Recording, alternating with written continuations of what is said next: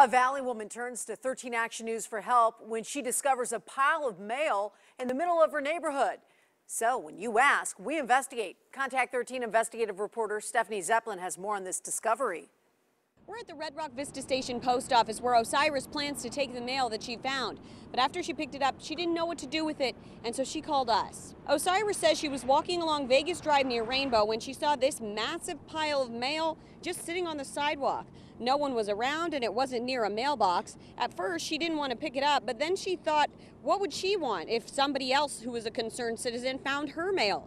The first thing she thought of was the risk for identity theft. So she picked it up and took it home. It's saved them some money, I hope. I hope that um, their information is safe. We reached out to the United States Postal Service and they said they can't tell us exactly what happens until they take a look at this mail. At Smoke Ranch in Tenaya, Stephanie Zepelin, 13 Action News.